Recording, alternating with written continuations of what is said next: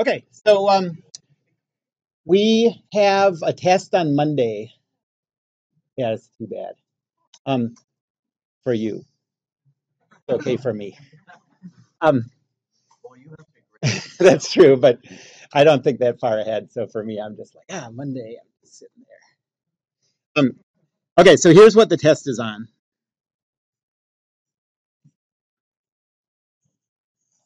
Um, the topics are just everything up through particle kinematics.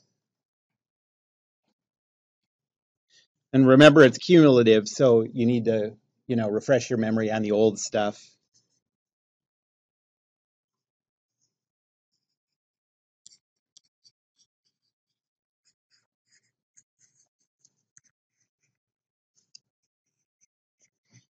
Um, no kinetics. So what we started talking about last time was kinetics. Uh, we talked about free body diagrams and Newton's third law, um, and none of that's going to be on there. No forces or anything like that. Um, so uh, anything new we talk about today, that's not going to be on the test. Uh, I'd be happy to start by answering any questions anybody has relevant to the test. Answering any homework questions that you had trouble with on that stuff. And then once you're done with that, if you know if there's time left, uh, I'll keep going with kinetics. Um, so first, does anyone have any sort of general questions not related to specific problems? Okay. Any? Oh, okay. Okay.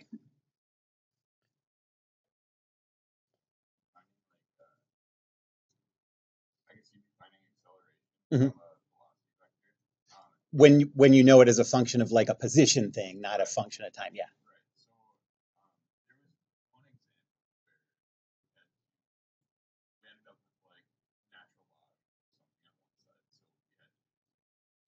Yeah.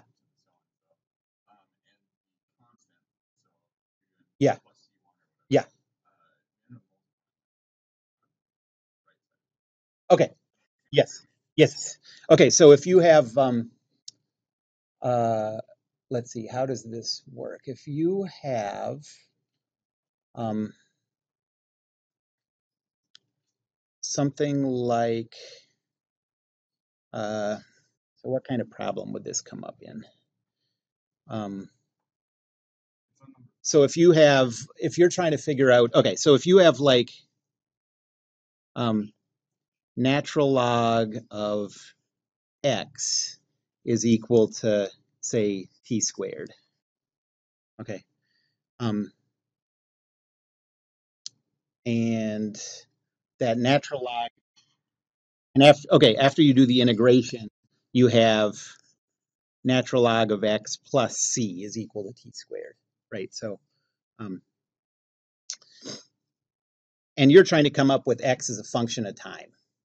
And so uh, the way to do that is to take, I never know the wording here, but you take e and the power is, you know, whatever is on each side. So this is e to the power of natural log x plus c, and over here you have e to the t squared. Um, and the now the thing that you're asking about is because of the power rules. So um, this is equal to e to the natural log x times e to the c. And uh, e to the c is just a new constant. So I just rename that. And so now we have like, or, and if I would have called this C1, you know, since these are all just arbitrary names, call that C1, this is C1. Now I'm just going to call e to the C1 new c, you know. And so you have c times e to the natural log of x, which is just x. That's what you're asking about, right? Okay, so so maybe the step step that I sort of skipped in there is that um, the the um, exponent rule here says that this is equal to e to this power times e to this power, and e to the power of ar- arbitrary constant is just a new arbitrary constant. Any other questions? Yes.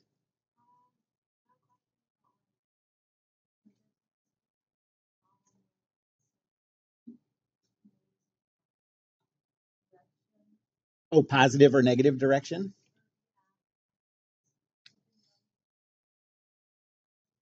Okay. Yes. Okay. So um, for for this kind of problem,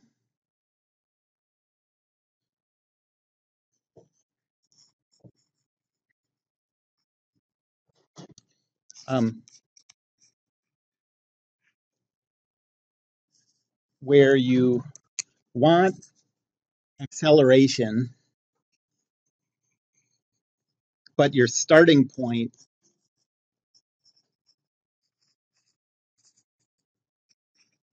is a velocity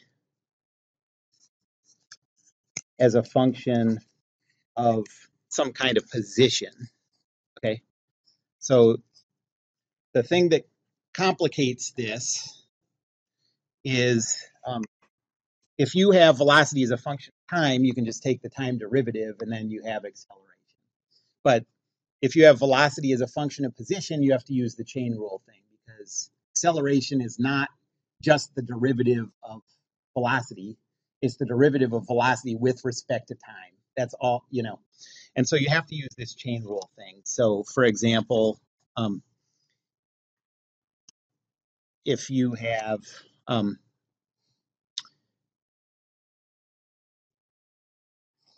so if you're given velocity um, as a function of, let's say, z, so that's like the z component of the position vector, okay? And we want to find the acceleration as a function of z.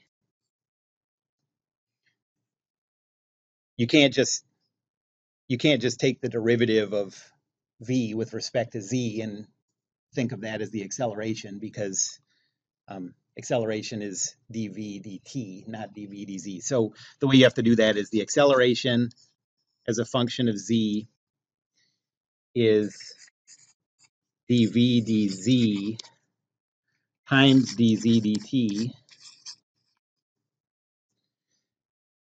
Now you would think maybe you're sort of stuck here um, because you're multiplying by this dzdt and you still have to have that dependence on time.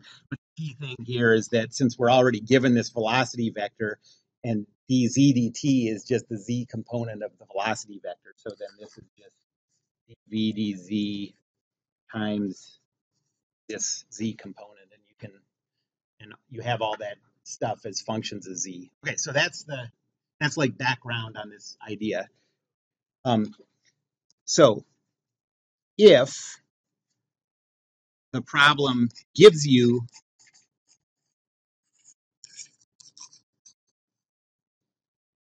um, the velocity as a function of position, any position component, any position variable, that thing above is all you have to do. So that's what you're hoping for.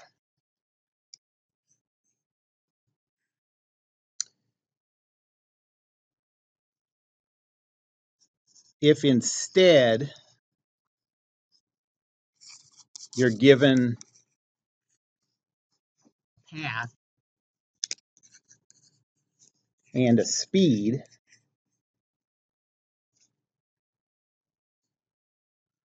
then uh,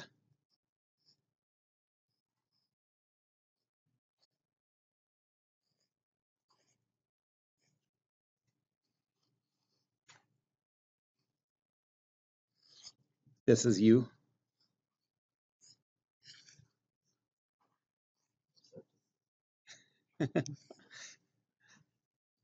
Um, because uh, and there's a first step before you get to that.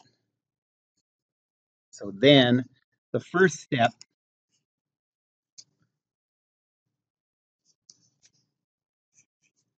is to calculate the velocity as a function of position.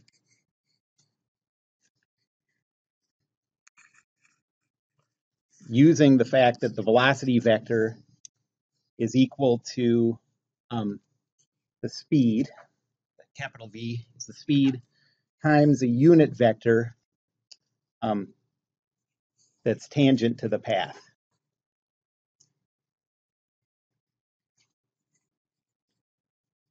And you also have to, it has to be in the chosen direction. So along a given path, there are two possible directions.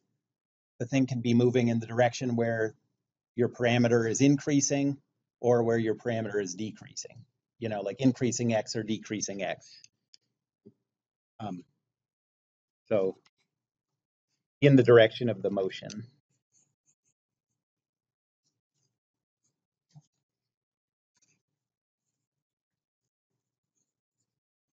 Okay, so let's do, start an example like that and at least just get to the point where, um, where we see, you know, where we get to doing the chain rule and stuff.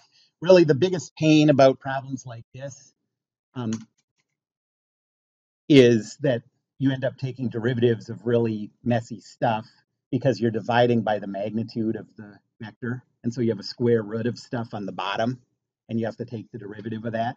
And so on tests, what I tend to do is either have you do one half of this kind of problem or the other half.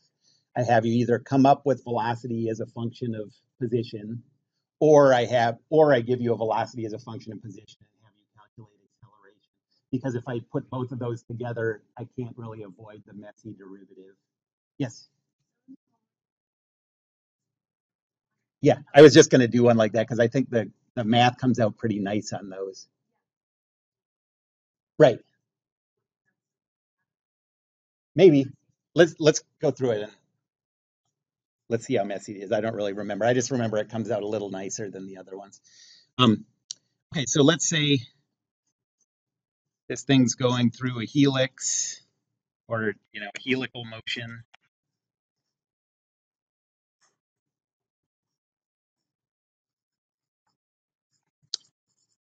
Um, and so if the coordinate system is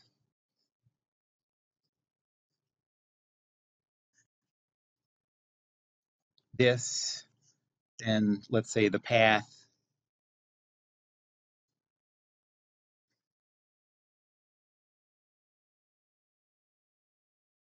is like that. And let's say that it's going in the direction of decreasing z. Uh, that's y. y is the one labeled y. Okay, so let's say it's going in the direction of decreasing y. And I'm going to do this, I guess, as a function of y just because of how I drew the coordinate system. Um, okay, so say the path is um, or what's called a parameterization of the path, is that the position vector as a function of y is equal to, we have a circular path in the x, z plane. And so let's say it's um, simplest one you could do is like cosine y, y, sine y.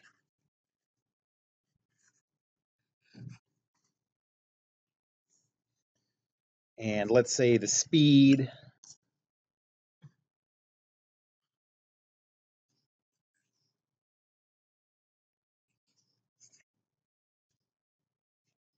capital V is, um,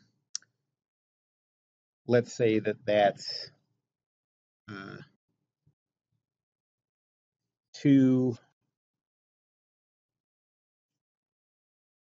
mm, 2y. We'll make it dependent on the height. Okay, I don't know what kind of motion this represents. You know, um, it definitely doesn't represent something falling under the influence of gravity because it's getting faster as you go higher, which is the opposite of what happens with conservation of energy. But, you know, uh, weird things happen when you get into tiny uh, distances or whatever. So, um, okay, so uh, we have the parameterization. Um, the velocity vector as a function of y is going to be equal to uh, the speed times a unit vector in the direction of motion. So um, we need to come up with that unit vector. And uh, one, like, the thing you have to remember is that if you have any parameterization of a position vector, the position as a function of any single parameter, the derivative of the vector with respect to that parameter is tangent to the path in the direction of increasing parameter. Well, so we'll get to that in a second.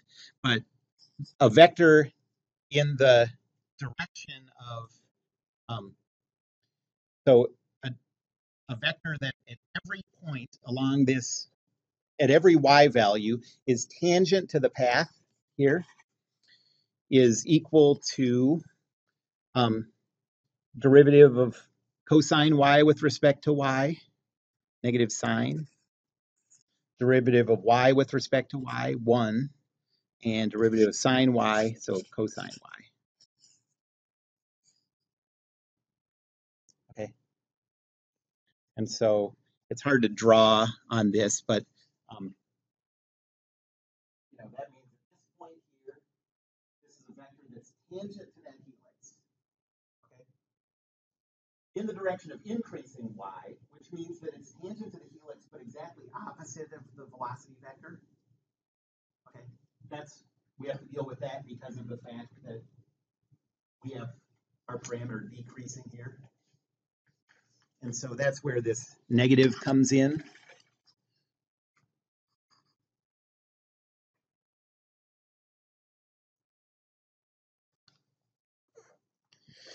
Um, so this is in the direction of the velocity vector, but it's not a unit vector, it's not unit length. Length. And um, the reason we need it to be a unit vector is because we need something that's in the direction tangent to that helical path and has a magnitude that's equal to the speed, because that's a velocity vector.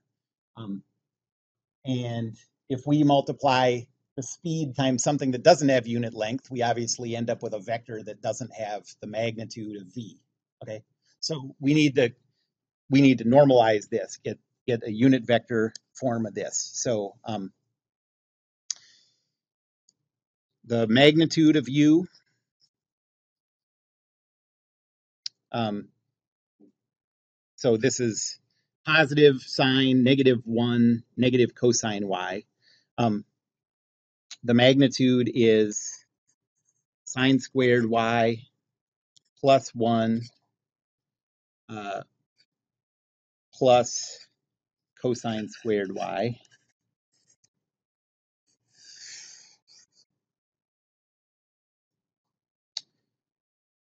And the thing that is nice about this helical path is that sine squared y plus cosine squared y is equal to 1. So this is out to just be square root of 2. Okay, yes.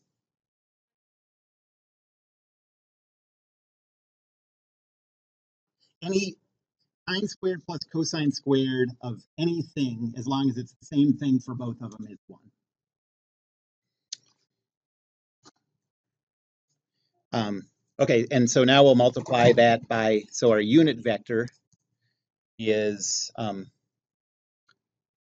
uh, positive sine y over square root of 2, uh, negative 1 over square root of 2, uh, negative cosine y over square root of 2.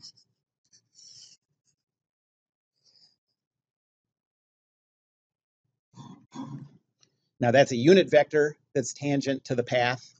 And so the velocity vector as a function of y is equal to this times the speed. And the speed was 2y. So we get 2y sine y over square root of 2 negative 2y over square root of 2 and negative 2y cosine y over square root of 2.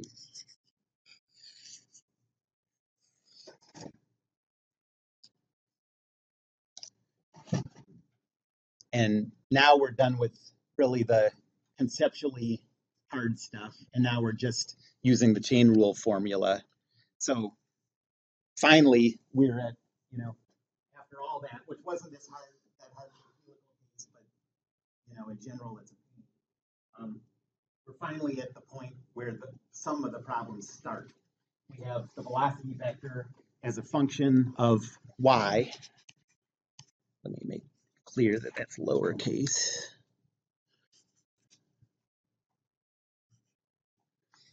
Um, and so now the acceleration as a function of y is equal to dv dy dy dt. And that's equal to dv dy times uh, dy dt is just the y component of the velocity vector, so negative 2y over square root of 2. Um, this thing is a vector, and this thing is a scalar.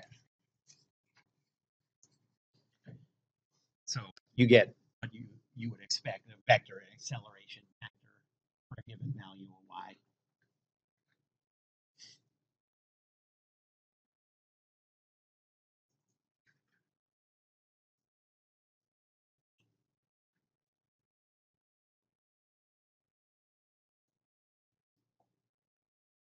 Any questions about that one?